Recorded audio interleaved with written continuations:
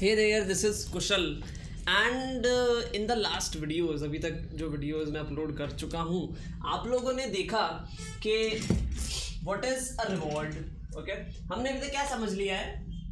We have understood about state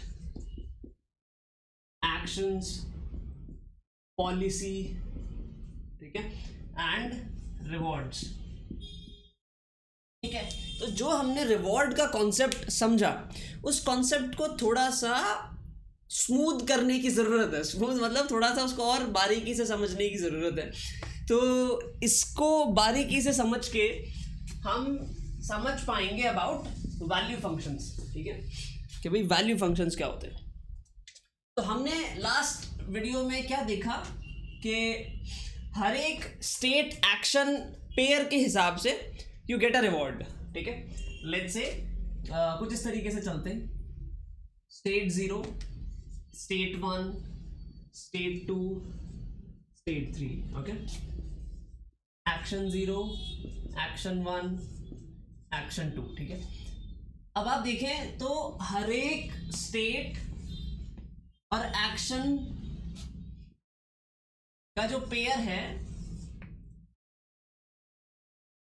उसमें हमें एक रिवॉर्ड भरना है, ठीक है? State action pair gives us a reward कि भाई, किसी स्टेट में कोई एक्शन लेने से कुछ रिवॉर्ड मिलता है, किसी दूसरी स्टेट में वही एक्शन लेने से कुछ और रिवॉर्ड मिलता है, ठीक है?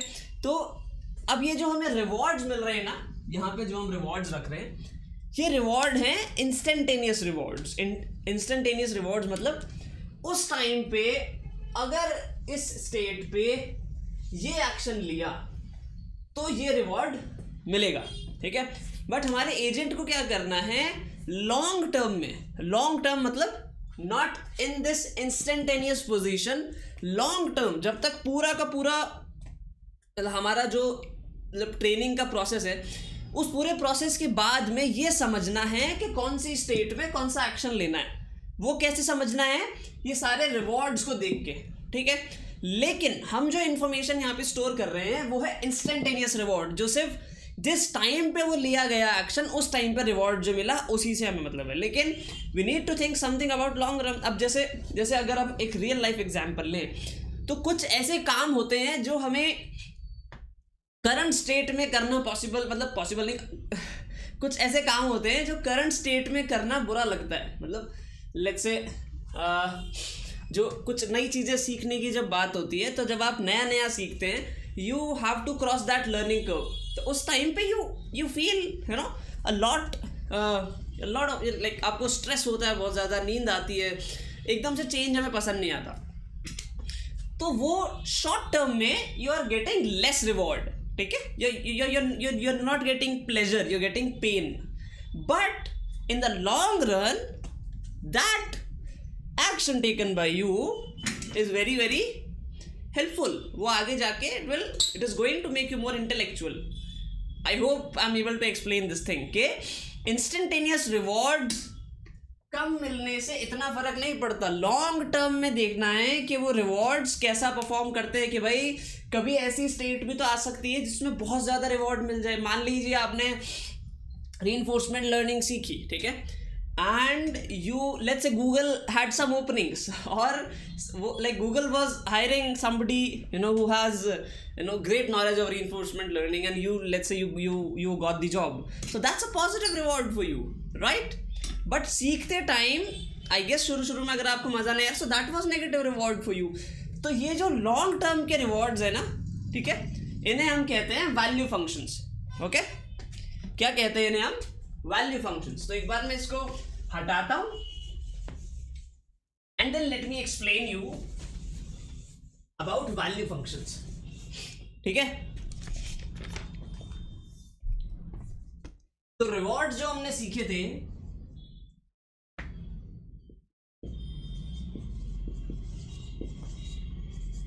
ये क्या थे? Immediate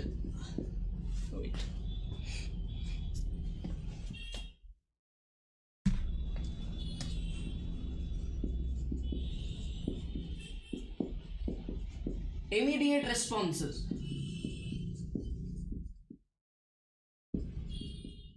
Okay? or value functions अब हम बात करने वाले हैं, ये क्या है? लॉन्ग टर्म रिस्पॉन्सेज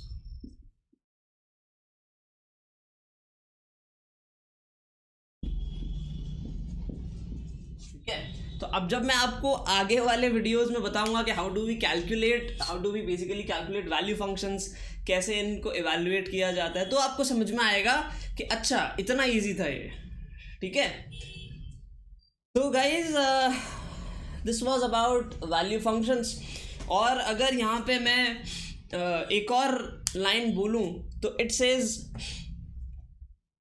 जो वैल्यू है आपकी स्टेट की दिस वैल्यू हम, हमारी हर एक स्टेट एक्शन की ना एक वैल्यू होती है। So value is wait yes value is actually total amount of reward an agent can expect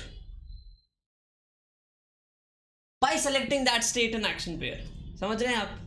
हर एक स्टेट से जितना टोटल रिवॉर्ड आप निकाल सकते हैं लॉन्ग टर्म में टोटल या एवरेज ये दोनों चीज़ें हैं हम आगे समझेंगे don't worry about it but एक तरीके से कह सकते हैं कि एवरेज रिवॉर्ड्स उस स्टेट एक्शन पेयर के।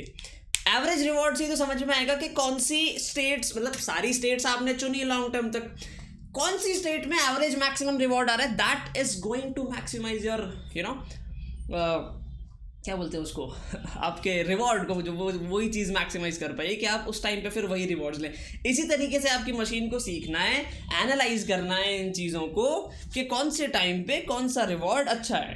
ठीक है? ठीक है? So this is these are value functions अब आगे क्या होगा? जैसे जैसे आपकी मशीन सीखती जाएगी, आपकी जो एक्शंस सेलेक्ट करेगी ना मशीन सीखने के बाद वो बेस्ड अपॉन हाईएस्ट वैल्यू करेगी not based upon highest reward क्योंकि हाईएस्ट रिवॉर्ड तो इंस्टेंटेनियस है ना, उससे तो हमें मतलब ही नहीं है। लॉन्ग टर्म में देखना है कि कौन से स्टेट पे, कौन सा एक्शन लेने पे सबसे ज़्यादा वैल्यू आ रही है और उसी एक्शन को हमें सेलेक्ट करना है। I hope you you you you you basically got the point right तो ये चीज़ थी गाइज़ अबाउट वैल्यू फ़ंक्शंस और आपको अभी जो बेसिक कॉन्सेप्ट समझ में आ गए हैं ना, अगर यहाँ तक आपको लगता है कि you are able to get what I am explaining you थोड़ा सा भी तो आप क्या करें? शुरू से फ़र्स्ट वीडियो पे जाएँ, ठीक है? उसको फास्ट फॉरवर्ड पे चलाएँ, ठीक है? और पॉज कर करके जो जो आपको समझ में आ रहा है वो लिखते जाएँ। डॉक्यूमेंटेशन इज़ वेरी इंपॉर्टेंट ठीक है? जैसे जैसे आप वो समझते जाएँगे, लिखते जाएँगे, आपको दिमाग में क्लियर होता जाएगा अच्छा मैं पहले क्या पढ़ता आ रहा हूँ, कहाँ हम जा रहे हैं, क्योंकि इसके बाद में we are starting a new module जिसमें हम सारे टैबुलर मेथड्स को डिस्कस करेंगे। टैबुलर मेथड्स क्या होते हैं मैं आपको बताऊँगा, क्यों उनको सीखना ज़रूरी है शुरू में वो भी बताऊँगा, और ये सारी चीज़ें मैं रिचर्ड सटन साहब की बुक से पढ़ रहा हूँ मतलब पढ़ चुका हूँ ऑब्वियसली तो that's a very great book ठीक है? You can also get it from Sutton website जो उनकी ऑफिशियल वेबसाइट है, वहाँ पे ये फ्रीली अवेलेबल है बुक तो आप जाके वहाँ से भी पढ़ सकते हैं। बट अगर आपको मेरा सिखाया हुआ अच्छा लग रहा है you are most welcome to watch my videos if you are loving the videos don't forget to give a thumbs up ठीक है? And thank you so much guys for supporting क्योंकि पिछले वीडियोज़ थोड़े से लैगी थे, आगे वाले भी लैगी हो सकते हैं। But like thank you so much for supporting कि आप सभी को अच्छा लग रहा है। Put a like if you love it good luck goodbye and I see you in the next one